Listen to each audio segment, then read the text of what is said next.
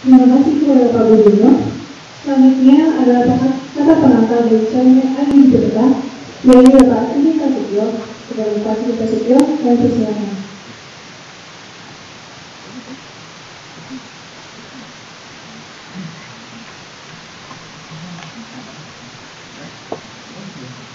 belum nyambung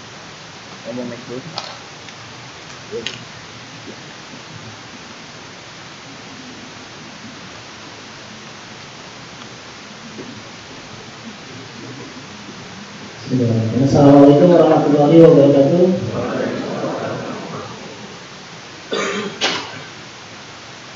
Uh, saya berdiri di sini aja ya, saya coba nggak terlalu formal. Uh, sebelumnya terima kasih kepada fakultas ini untuk aplikasi dan kemudian juga juga terima kasih kepada pimpinan program studi di sistem komputer dan pada jajarannya Pak Produsen Uh, juga terima kasih sama Pak Didi ya untuk mempartisipasi kami dalam menjadi ruangan bisa begini. Sebenarnya senang sekali uh, saya berada di Semarang ya. Itu sudah lama kami show di Semarang kan. Kalau istilahnya Mas Suli uh, apa namanya? Apa apa itu ya? dakwah Pak. berdakwah berdakwah di data jadi kebetulan uh, pesertanya apa uh, yang datang juga sebenarnya ada beberapa atau ada beberapa yang uh, dari Jakarta. Bisa, ya? udah terus ini bentar bentar Oke. Ini sekilas saya, uh, saya nggak terlalu akan nggak terlalu bicara.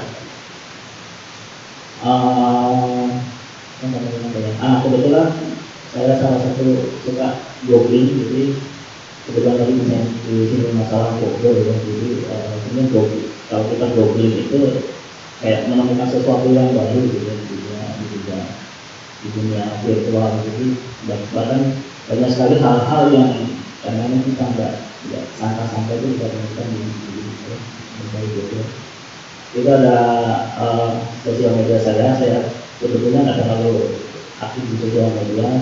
Uh, ada kaum kita saya, kalau saya kebetulan alhamdulillah sudah 8 orang ya.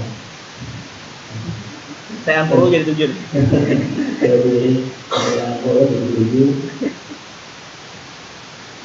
Next. Ah, ini sekilas saya di data, jadi ability data itu dicanangkan atau digaungkan ya pada saat konferensi di data Indonesia yang uh, pertama di UGM tahun 2014 ya. Uh, misinya adalah kita mencoba mewadahi, kita coba sharing, kita coba uh, menggabungkan uh, stakeholder dari uh, di Indonesia untuk berbagi kebetulan uh, sampai saat ini uh, formatnya sudah sudah dua tahun formatnya masih uh, kepengurusannya masih itu itu aja. Jadi secara resmi memang tidak ada kepengurusan yang yang formal ya. Jadi kita hanya hanya uh, keliling dan uh, apa namanya uh, apa, merangkul uh, yang ada di Indonesia. Nah, itu kegiatannya adalah kita ada dua kegiatan. Pada dasarnya ada offline dan online. Jadi kalau kalau online kita bisa mengunjungi iddata.com kita bisa share di situ ada sharing artikel, sharing tutorial dan sebagainya. Kalau offline ya kita melakukan kegiatan seperti ini. Jadi eh, kita melakukan meet up kita akan melakukan konferensi kita akan melakukan eh, workshop, sharing, tutorial dan sebagainya. Karena yang sifatnya uh, muka secara langsung. Next. Meet up tahun ini kita sudah melakukan, melakukan sebanyak lima kali ya. Jadi pada bulan Januari eh, di awal tahun kita berkunjung ke Banda Aceh ke Universitas Syahkuala. Kedua kita ke Jakarta bulan Februari dan ketiga bulan Maret kita kembali ke Jakarta di STIS eh, Jakarta. Keempat bulan Mei eh, di Universitas Jakarta Indonesia Indonesia. Dan alhamdulillah pada hari ini bulan Agustus sudah melakukan meetup ke-10 atau meetup ke-5 pada tahun ini di Universitas uh, di Bogor. Mungkin nextnya kita akan uh, rencananya mau ke Makassar, uh, insya Allah kalau, kalau tidak ada Dan di akhir tahun uh, kita akan melaksanakan konferensi uh, Big Data Indonesia yang ketiga. Jadi pada tahun 2015 insya Allah kita akan melakukan di uh, Jakarta. Next. Terus bagaimana eh, teman-teman uh, jika ingin berkontribusi terhadap uh, komunitas? Jadi pertama yang kita bisa lakukan, nah, yang kita bisa lakukan adalah uh, kita menggunakan uh, tools kita itu sendiri atau kemudian kita sharing, kita kasih feedback ke komunitas bahwa pengalaman kita terhadap tools itu bagaimana. Jadi misalnya kita uh, sharingnya pun tidak mesti sukses story. Jadi sering kali kita belajar dari kegagalan orang, sering kali kita uh, belajar dari uh, masalah-masalah yang orang lain hadapi. Jadi kalau bisa kita sharing sesuatu ke, komunitas sehingga orang lain bisa kembali bisa belajar terhadap apa yang telah kita lakukan.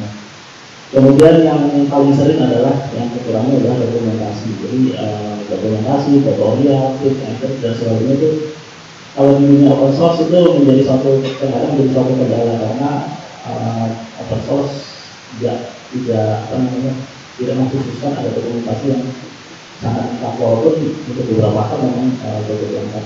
Jadi tetap dibutuhkan uh, kontribusi dari teman-teman atau dari uh, komunitas untuk melengkapinya. Berikutnya adalah uh, kita sharing kode, kita sharing aplikasi, kita sharing uh, script dan sebagainya. Jadi uh, alhamdulillah uh, solusi 24 itu mungkin uh, sudah uh, untuk men-share uh, toolsnya yaitu uh, Hybrid kami mungkin Pak Jonan akan cerita untuk digunakan di komunitas sehingga kita bisa belajar bersama, kita bisa mengembangkannya bersama.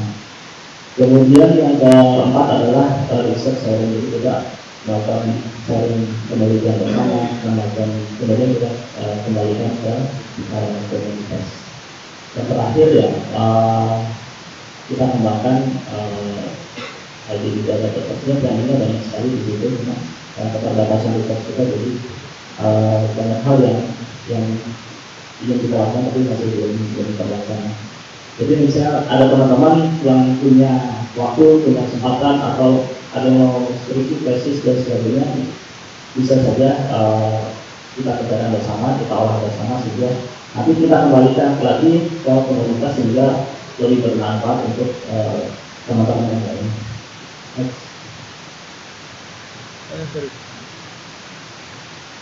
Ini ada contoh uh, kerjasama kerjasama kita, jadi uh, kita bekerjasama dengan UGM untuk uh, membuat apa operating system khusus data namanya UPS ya. Uh,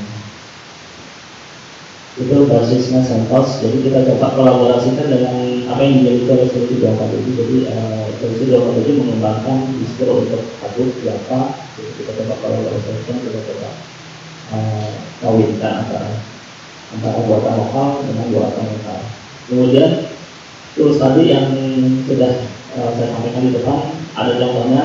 Kebetulan ada dua dua uh, hasil skripsi dari teman-teman di Universitas Al Azhar yang pertama untuk mempunyai analitik terhadap forum dan sosial media. Kemudian ada yang agak lebih itu mengenai uh, situasi jadi menggunakan strategi toolsnya menggunakan uh, uh, jadi hybrid dikembangkan dan dibikin komponen baru untuk uh, mensuplai kebutuhan yang yang apa namanya yang, yang diperlukan sehingga sebetulnya sehingga uh, ini bisa berkembang dan bisa dimanfaatkan oleh oleh uh, pihak-pihak yang lain atau teman-teman lain dengan studi kasus-studi kasus yang uh, yang berbeda. Jadi saya kira itu aja. Uh, ini sosial media informasi jadi uh, silakan saja uh, apa kunjungi edukata.com websitenya. Kemudian kalau mau biasa pakai Facebook uh, di edukata uh, di Twitter kami juga punya at edukata kemudian di YouTube channel ada di data terus kalau ada pertanyaan atau satu hal yang ingin disampaikan bisa sharing di hub data.com ini masih beta tapi sudah sudah bisa berjalan. Kita masih testing tapi sudah bisa berjalan. Bisa submit pertanyaan-pertanyaan yang ada di apa yang yang dimiliki atau bisa sharing pengetahuan atau jawaban yang uh, bisa membantu teman-teman yang lain sehingga bisa bermanfaat uh, kepada pihaknya. Kira demikian aja. Assalamualaikum warahmatullahi wabarakatuh. Waalaikumsalam.